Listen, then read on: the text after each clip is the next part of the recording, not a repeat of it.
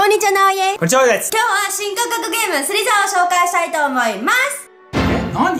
スリザスリザー？聞いたことないですか？ーいやないでございますよ。なんとですね、このスリザーっていうアプリ、ほ4月25日時点でアメリカの App Store 無料アプリランキングで1位に輝いている。日本では全く人気の出ていないアプリです。うこっから来るんじゃないの？ヘビみたいじゃん。そうなんです。こあのあミミズっぽくないですか？であも。ミミズっぽいね確かに。ううんん、でニックネームじゃあカラマリってね入れてうん。これねじゃあスタートします。これオンライン？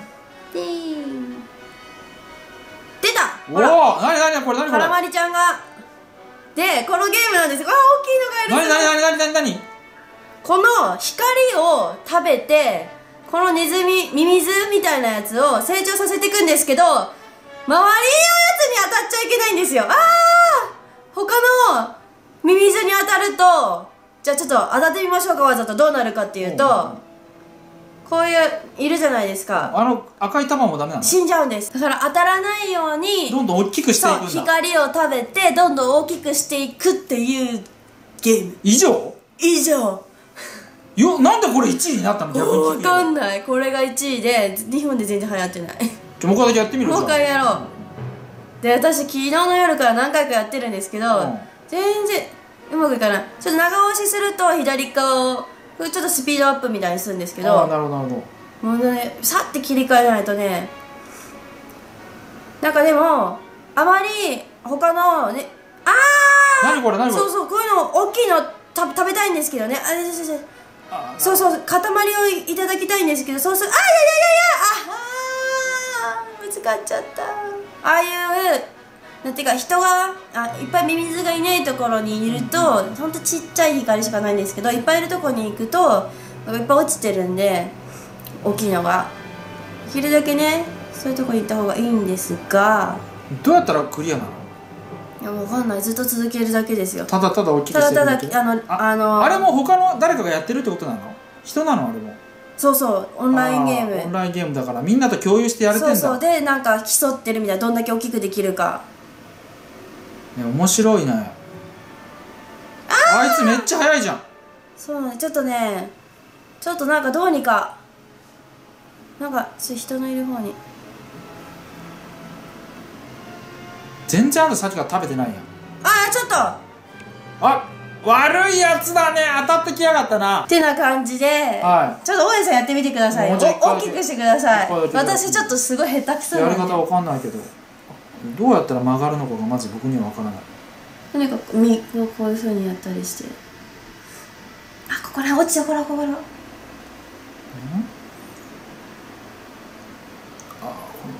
動くやつとかもいいのかもしれない。結構難しいねあのそうコントロールがね割とコントロールが難しい。とかうわすごい伸びてる。うまい。うまいというかこれ誰でもできんじゃない？あこれぐらいここはこいるいる。やりたいんだけどあ危ないこれダメだ。危ない危ないこういうことこういうの危ない危ない危ない。あ！おやっぱ大きいのは勝つんですね。こっちゃった申し訳ない。なんか誰が殺しちゃったよ。あミミズなんで例えばあのおにょおにょ大きいやつの。近くに行くとねいろいろ養分あるんだろうなんか体だけでかくなるけどさなんか太くはならない、ね、細い。やっぱりあの大きいキラキラ食べたあいつないの当たりにぶつかりに来やがったな、うん嫌なやつ。嫌なやつや。おおやっぱ勝った。なんかでかいからかな。自分から当たりに来て。当たったやつを食べるんですね。当たったやつなんか養分いっぱい持ってるからさ今のうちにちょっと全部もらっとこうと思って。すごい伸びてる大江さん。気持ち悪い。伸びてきたよ結構。すごい伸びてきた。でもねこういうところにねいるんだよね悪いやつが絶対どうやったら早く歩けるのか分かんないんだよねああのひあの長押しみたいな左を。そうそれです。あ。あ頭から突っ込んだ。頭から突っ込んだから負けた。そういうことだね。そう。ああこれでずっとやっていくと。まあなかなかでもあの楽しかったよ僕。ね結構なんか無心になっもうて虫でスーってやれるから、そうん、楽しいかも。そうなんですよね。意外とやってみたら楽しいかも。見てるよりやってみると楽しいかも。そうシンプルで分かりやすいんで。というわけで今日はアメリカで大人気のアプリスリザーを紹介しました。皆さんもぜひぜひ遊んでみてください。それでは皆様さようなら。私最近ですな、まあ、印象操作の話をしてましたやがめてくださいそれ。あの眼鏡を変えることで印象操作できるんじゃないかっていう話をしてたんですけど、えー。まあ、印象操作完結編ということで。はい。眼鏡買いましたよ福井旅行に行ってきたようなもんですね。福井県の鯖江っていうところがあって鯖江っていうのは日本の眼鏡の95%はそこで生産されていると。そこに行けば何であるんじゃないかと。うん。思って、まあ、福井旅行も兼ねて僕と、まあ、菊池プロとあの友人何人かで行ってきました。まあ鯖江だからそうあんじゃねえかと思って何もあんまり調べずに行ったらないんだよ。鯖江には。眼鏡屋さんが。メガネ嫌がないそう。でもねほとんどない。やばいと。でどうしようっつって最終的にはもう名古屋に寄ってそこで買って都内に戻ってきたと。東京から出発して福井福井行ってメガネをそこで買えずに帰り道の名古屋で買ってきたと。そうです。その時の映像がねないんですけど。ないんですか？あのー菊池プロいるのに。菊池プロいるから、まあ、直井さんが撮ってこいって言うからちょっとだけ撮りましたよ。はあの一条谷レストランってとこ行きまして。あはい。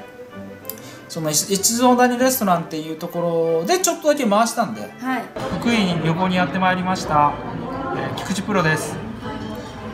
お城の後にできたレストランでここは素晴らしくいいということなんでちょっと食事をしたいと思いました。これは何ですか？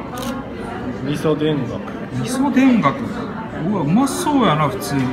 店内がちょっと映してこのおしゃれな。ねいやおしゃれなんだよこれ店内は城跡のお城あお城跡に作ってんの？これ。おしゃれ。春ナスのマリネ。マリネです。うん。あ美味しいわ。美味しい？周りかぶうまい。かぶか。うん。しかもちょっとマスタード味新じゃがのおまんじゅうでございます。じゃがいもであエビが入ってるなんかデザート感覚で食べれる甘くないけどこの出汁もうまい。新玉ねぎの昆布包みです。おおおおじゃじゃーん。おおこれ外も全部食べれる食べれるかなり甘いってことね。あうまい。自然な甘みキャベツの炊き込みご飯とこちらがよいしょ。お味噌汁。甘みが出てるね。タイのフライです。綺麗ですね。うわサクッといい音い。い。ですねうわいうまいうん。マクドで味わえないこれはデザートですこっちがよもぎのアイスいちごプリンいいねあよもぎとクリームとあん。あなるほどよもぎの味めっちゃするこれ美味しいあこれよもぎ抹茶よりうまいうまい和の味やねこれ相当うまいななん。かおもろいこと言って代々木代々木じゃあよもぎで？もういいやそれで。これが一条谷レストランの？前だね。これがレストランね。どうですか福井は？なんか自然魚が美味しい。ソースカツ丼が非常にうまい。ソースカツ丼はちょっとぜひね。撮影し忘れてしまったけど。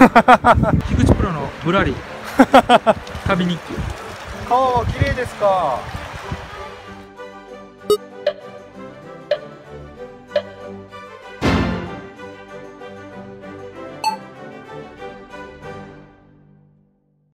次は私を連れてってください。お前が予定合わせなかったんだろ。あ あそうだそうだ。誘うとこれだからなこの人は